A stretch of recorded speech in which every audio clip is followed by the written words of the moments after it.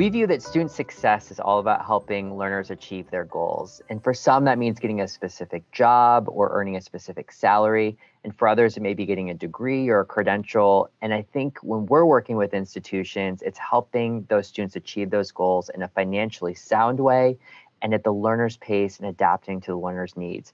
And so as I think about it, and probably a little bit biased to me use a Google analogy, but I almost think of Google Maps where you're putting your destination and then you can choose do you want to get there via walking, biking, driving?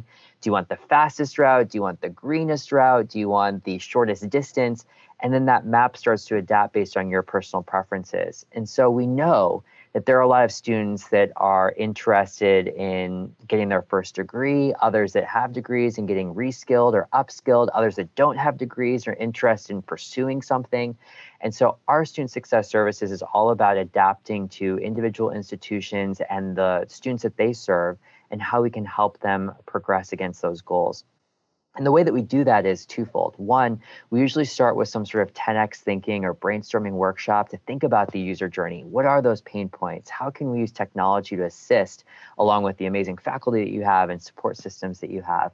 And then, second, where it usually devolves from there, from the technology side, is that a lot of the issues stem from data and that we need great data in order to help provide that personalized and lifelong learning journey for students. So we usually work with institutions to understand how do we untrap the data that's in silos at their universities, sitting across different departments or different areas, adding in data governance to them, and then capitalizing on new and value add opportunities to engage students by building applications around machine learning models, chatbots, et cetera.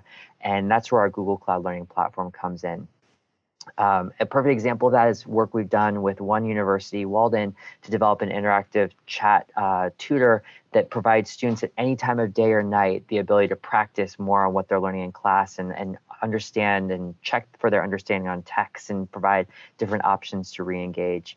So it is important to note that all that data we recognize it's sensitive, often regulated by FERPA, and requires a fulsome and proactive security strategy. And so, especially in light of a lot of the ransomware attacks and security attacks, we've been working on zero trust models to ensure that that data stays safe, is owned by you, and um, and only allowed access to those who you grant access to.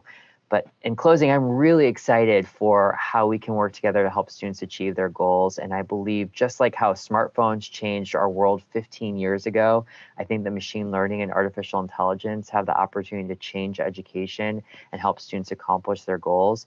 And we're here to work and design with you. And we are really looking forward to um, figuring out how we can help students continue on their lifelong journey of learning.